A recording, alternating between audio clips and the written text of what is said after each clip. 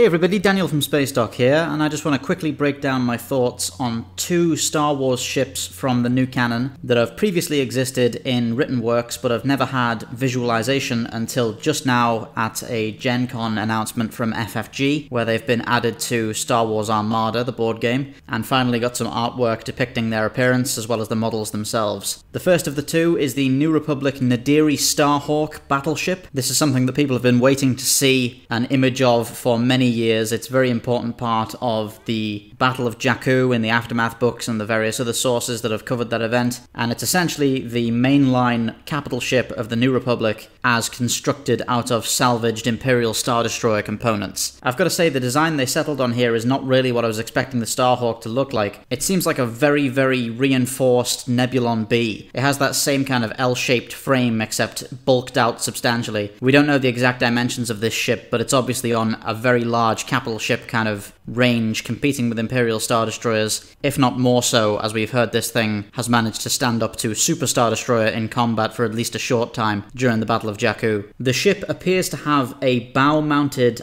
hangar bay. Either that's a hangar bay or a very large forward weapon. I think it's probably a hangar bay by the look of the kind of shield generator thing going on there. Also, those could be tractor beam projectors around it, which would make sense for kind of recovery or salvage. The use of Imperial components to make this is very apparent. It certainly has that sort of grey angular style to it. You can even see some kind of triangular Imperial Star Destroyer style windows across the sides there. Personally, I think this is something that really nicely sets the New Republic apart here because I was never much of a fan of the Mon Calamari designs or most of the kind of larger alliance ships. This looks a little bit more militaristic and it kind of fits the national government that the rebellion has morphed into in the late Galactic Civil War. Some of the artwork provided by FFG here is gorgeous. FFG always do an amazing job of commissioning fantastic artwork for all of these ships, and it's even more meaningful when it's the first look at a design that people have known existed for quite a while. As it stands, there's no clear image of the aft of this ship or really the ventral side much just yet, but we can see some nice detailing on the model where Imperial Star Destroyer style shield generator spheres can be seen along the broadside hull, which is a nice little detail. And I'm a fan of the blue and yellow kind of decals in keeping with the New Republic's usual iconography. I think the starboard side of this ship might have a New Republic crest emblazoned on it. I've seen that in one image, but it's not mirrored on the other side of the ship. If I had to guess, I'd say the prow mounted windows on the kind of keel here are the bridge area for the ship, which is certainly a better location than the usual exposed tower that a lot of Imperial designs go for. This is a little bit more in keeping with the auxiliary bridge structure that we see on the Raddus in The Last Jedi. We're told that this thing is powered by Magna batteries, whatever they are, and it's equipped with numerous turbo laser banks as well as ion torpedoes and concussion missiles, so a decent amount of missile ordnance there. It has at least two docking bays, presumably those are the side mounted ones, and can carry a number of starfighters in addition to its main role as a kind of close quarters tanky warship. One thing we do know from the Battle of Jakku is that these ships have tractor beams 10 times more powerful than the Imperial standard ones, which allowed a Starhawk class ship during that battle to pull an Executor class Superstar Destroyer out of orbit. This would be in keeping with the kind of array of what looked like tractor beam projectors on the ship's bow there, and I've no doubt that this will be used in the Armada board game as some kind of special ability of some description. Certainly a nice unique feature to give this ship a bit of a calling card. And moving on to the second design here, we have the Onager class Star Destroyer,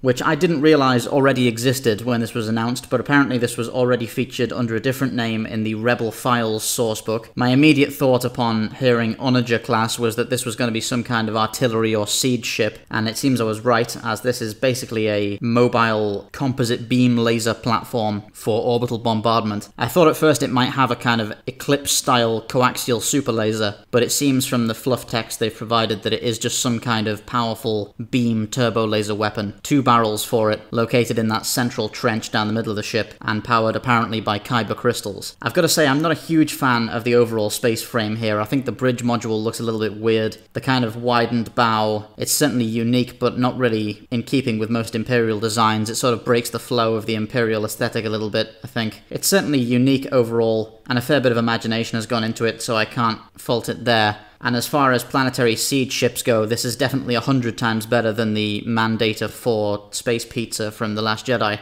We know this ship has five large engines on the aft, Uh, we've seen one nice piece of concept art of it bombarding a planet as viewed from below, which looks pretty cool. In that image, we can see docking bays on the aft of the kind of hammerhead section, which is a pretty cool placement. We don't have too much more information on this, but this seems to be incredibly specialized, far more so than the Starhawk, in that it carries the composite beam lasers for planetary sieging, it has a couple of docking bays, presumably for a defensive TIE complement and some shuttles, and beyond that, it's really not that versatile based on its description alone. I don't know the size, but just kind of eyeballing it here based on the design, I would suggest that this probably isn't hugely useful as a close quarters warship, more something that is meant to be kept far out of range, used against planets or possibly against large warships as an artillery unit, but in need of protection and escort when attacked directly. We can even see in its main artwork that it is flanked by Imperial Star Destroyers protecting it, so possibly this ship is a little bit fragile should it fall under direct attack. I'm okay with that, I like having specialized ships. I'd much rather have a fleet of individual thought out designs that play to each other's strengths and make a more realistic overall tapestry than just sort of the ultimate ship of the week to be added to the roster. It's interesting that the First Order don't have any of these or use them. I mean, possibly they do, but they saw fit to completely replace this with the Mandator 4 as their planetary siege vessel, even though this isn't all that old by the time we reach the First Order's time frame. Possible that this design wasn't all it was cracked up to be in the end. But again, the First Order Dreadnought has a lot of design problems, many of which are not in universe, but rather just art failures, I think. I can certainly believe that in canon, the Mandator is meant to be a simply better siege ship than this one. Now, finally, one other interesting piece of information that FFG gave us out of Gen Con is a little bit more detail on the First Order fighter that we see in Star Wars Resistance used by Major Vonreg. Now, I'd initially been operating under the assumption that this was the standard First Order TIE Interceptor, it's just that this one in particular was painted red by Vonreg, but it turns out this thing is called the TIE BA Baron Space Superiority Interceptor, which suggests to me now that it is some kind of unique craft for elite pilots, and maybe they are all painted in this colour and handed out to the best pilots the First Order has available. This is kind of interesting, but I'm also not a huge fan of it because I'd prefer the First Order to have an interceptor. They seem to be focusing quite a lot on kind of elite units and things without having a sort of sensibly fleshed out set of stock designs. We still have no First Order TIE bomber or a standard First Order interceptor. I was hoping we'd simply see this in the black and silver used as a normal TIE interceptor for the First Order because I really like the design overall. This is one of the coolest looking kind of wing arrangements for a TIE fighter I've ever seen. The combination of the curved style of the Inquisitorial TIE and the kind of broken fork shape of the TIE interceptor with the nice kind of Quilon shortened section at the aft just looks really fantastic overall. I think it would actually look better in the black and silver than it does in red, but I think at this point, based on the name alone, we can safely assume that this is a rare elite craft for barons of the First Order or whatever. Either way, it's a cool design. We already know that it has four laser cannons and two multi-use projectile launchers, which we've seen firing concussion missiles in Star Wars Resistance. Uh, this thing held its own against an entire squadron of T-85 X-Wings in that show. Admittedly, most of them were flown by cadets, and one of them was flown by the main character of that show, who is occasionally an unstoppable flying ace, and occasionally a moron who couldn't fly his way out of a paper bag, so I don't know how much we want to read into that. Either way, this is another cool design for the First Order that I'd like to see show up in the film at some point, or in a different episode of Resistance, or some other iteration going forward. I hope this isn't relegated to being like a four episode one shot, and I really hope that one day we get a stock TIE Interceptor for the First Order. I mean, it's kind of late now. We've uh, we've burned through the entire sequel trilogy, and the First Order still don't have a sort of sensibly constructed, plausible fleet. So it seems like it might be too little, too late to suddenly give them bombers and interceptors and other various expected designs this late in the game. It's kind of a shame that they were never given the same attention and grounded world building that was given to the Galactic Empire and the Republic and the various other major factions back in the day. Either way, this came out of nowhere, so big thanks to FFG for uh, fleshing out the Star Wars universe a little bit here and shining a light on these designs that have been relegated to the pages for a while now. The big question on a lot of people's lips here is will we see these in episode 9? Is that why they've been revealed now? I'm not going to say that's impossible. We don't know anything close to enough about episode 9 to make a kind of educated guess just yet, but I'm still holding out hope that the New Republic will make an appearance in that film and we'll get at least one really impressive space battle before the sequel trilogy hangs up its hat, so to speak. And it would certainly be fantastic to see the Starhawk and the Onager on screen in that movie. Let me know in the comments below what do you think of these two new designs and what do you think our chances are of seeing these on the big screen moving forward. This is Daniel from Space Dock,